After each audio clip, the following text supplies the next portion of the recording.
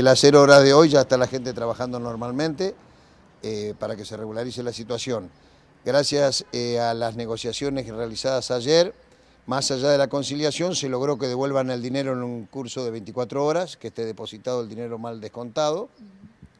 Y un avance muy importante, se logró en el acta firmada en el Ministerio que la empresa se compromete los próximos 30 días eh, con la comisión formada a reunirse a discutir el sistema de las 48 horas semanales. Claro, eso fue, ya fue un avance importante. ¿no? Es un avance importante porque antes se negaban a hablar de este tema, que fue lo que nos llevó al conflicto.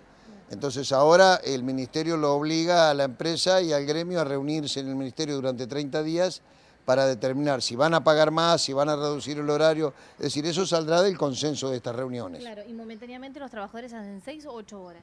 No, no, volvemos, hay que retrotraer, volvemos a las 8 horas hasta que durante estos 30 días se defina cómo va a ser en el futuro. Claro, lo importante es que les devolvieron parte del sueldo este que les, les habían quitado, ¿no?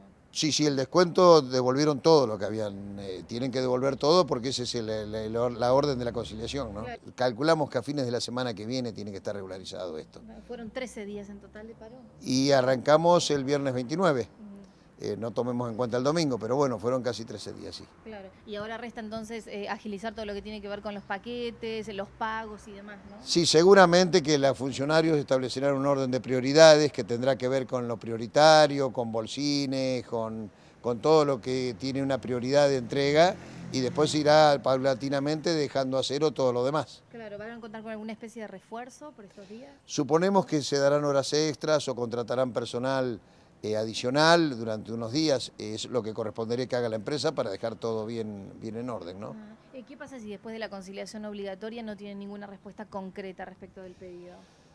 Bueno, eh, lamentablemente si sucediera algo así, eh, posiblemente haya otro conflicto. Esperemos que no, que en estos 30 días se llegue a un acuerdo consensuado. Claro, pero tiene expectativas, digo, después de la última reunión en el Ministerio de Trabajo, ¿no? Sí, hay expectativas porque obliga al Ministerio de Trabajo a tratar el tema y la empresa al ver la firmeza que tuvo el gremio durante estos 40 días de, de actividad eh, un poco dura, eh, ven que tienen que sentarse a dialogar.